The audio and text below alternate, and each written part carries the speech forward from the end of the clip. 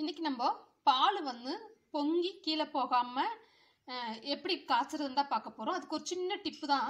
வேற ஒன்றும் இல்லை. இப்போ நான் அது அரை லிட்டர் பால் எடுத்துருக்கிறேன். இந்த பாலுக்கு ஒரு பாத்திரத்தில் ஊற்றிக்கலாம் நம்ம பால் வச்சுட்ருக்கும்போது பக்கத்தில் யாராச்சும் கூப்பிடுவாங்க இல்லை குழந்தை அழுகும் ஏதாவது ஒரு வேலையில் நம்ம டக்குன்னு மறந்துட்டு நவுந்து போயிடுவோம். அப்போ என்ன ஆகும்னா அது சீக்கிரமாக பொங்கி போயிடும். அது எப்படி சரி பண்ணுறதுக்காக தான் இப்போ நம்ம பார்க்குறோம் இதை ஸ்டவ்வில் வச்சிடலாம்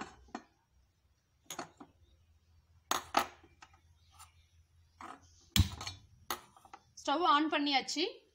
நான் ஃபுல்லாக தான் வச்சுருக்கிற தீயே. சிம்மிலெல்லாம் கிடையாது. இந்த மாதிரி மரக்கரண்டி எல்லார் வீட்லேயும் இருக்கும்.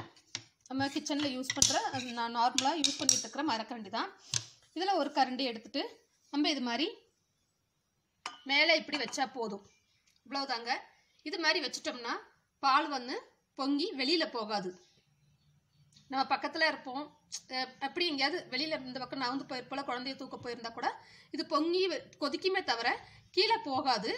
இப்போ பால் பொங்கும்போது நான் உங்களுக்கு காமிக்கிறேன். நான் ஃபுல் ஃப்ளேமில் தான் வச்சுருக்கிறேன். கம்மியெல்லாம் ஒன்றும் வைக்கல. இந்த பாருங்க அது காமிக்கிறதுக்காக தான். இப்போ பால் சைட்லலாம் பொங்கி வர ஆரம்பிச்சிருச்சு.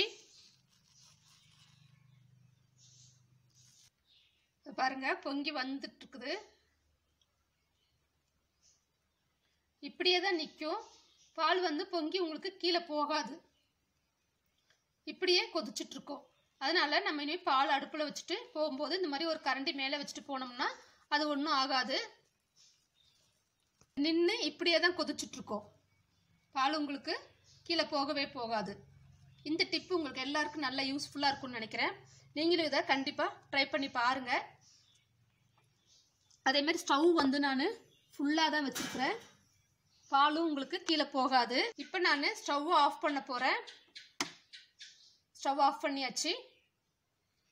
இப்போ நம்ம பாலை அடுப்பில் வச்சுக்கும் போது இந்த மாதிரி ஒரு கரண்டி ஒன்று வச்சுட்டிங்கன்னா போதும். நம்மளோட பால் வீணாகாமல் காய்ச்சி எடுத்துடலாம்.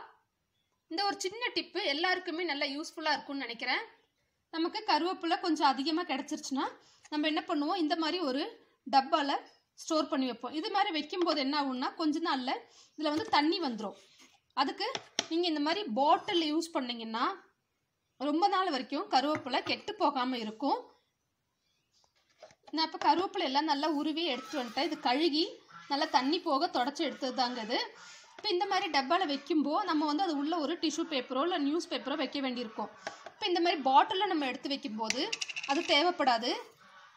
நான் பாட்டிலும் கழுகி தண்ணி இல்லாமல் நல்லா சுத்தமாக தொடச்சது தான் இப்போ இந்த கருவேப்பிலை எல்லாம் இதில் எடுத்து போட்டுடலாம்.